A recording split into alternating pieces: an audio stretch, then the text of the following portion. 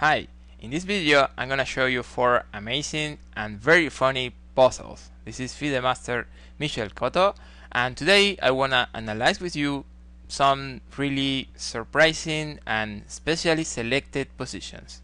Keep watching. This is the first position. This was played some days ago in a blitz game between two friends. They are two titled players, strong masters. And here it is black to move. Black should be winning this position. They have a rook and two pawns, but also white pieces are not fine. Uh, the king is very exposed. Also the knights are not fine here. So this position should be winning for black.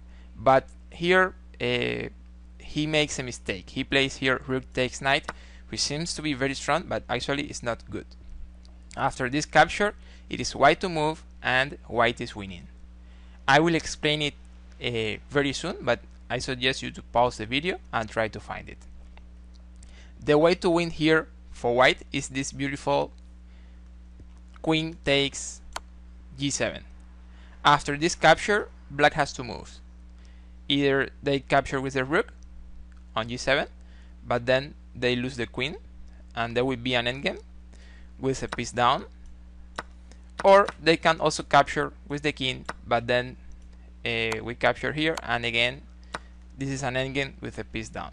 Also uh, a couple of pawns as compensation for black but in general it should be it could be winning for white I guess. This is the second position. It is white to move and white is winning.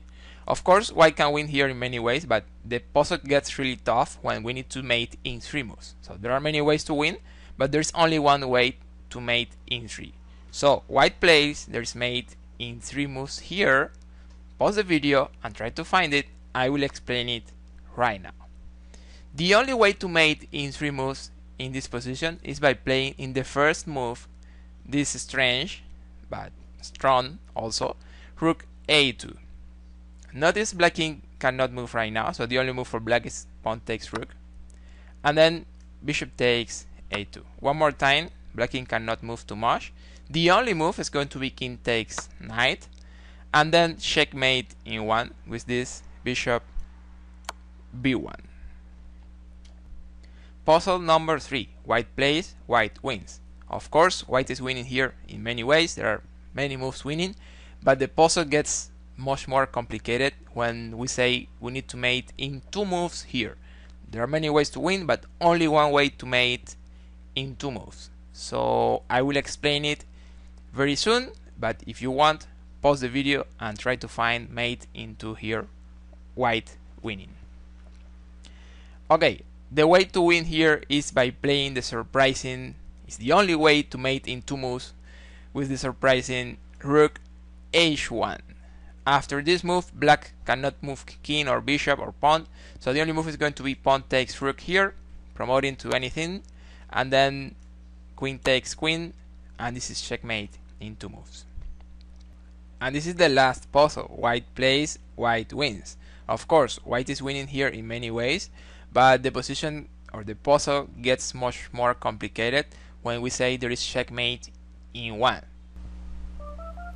Come on, Mike.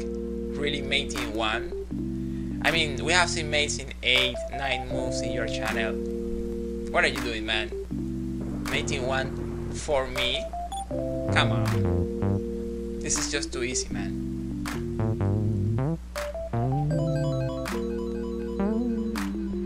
Hey Mike, are you sure we have the right position?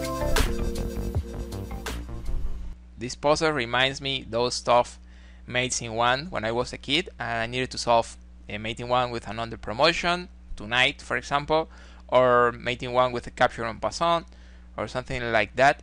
Those mates were really hard. Well, this is mate in one. It's actually a little tough.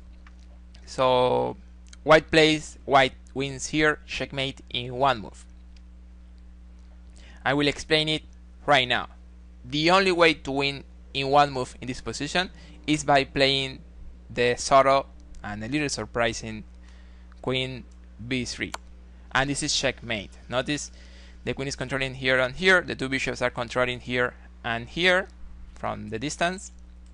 And also the two knights are controlling here and here. So that's checkmate in one. Of course the the move is really hard to find. One of the things that makes this move so hard to find is that you're moving the queen in the same diagonal as the bishop with the king behind. That doesn't happen very often that we move the piece with a pin and the, your opponent cannot capture so that makes it really hard I guess.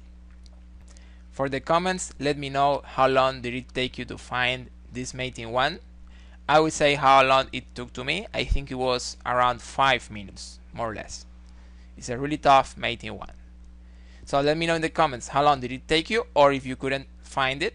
Also let me know so this is the video I wanted to show you today. I hope you have enjoyed it. If it was like that, don't forget to give me some likes.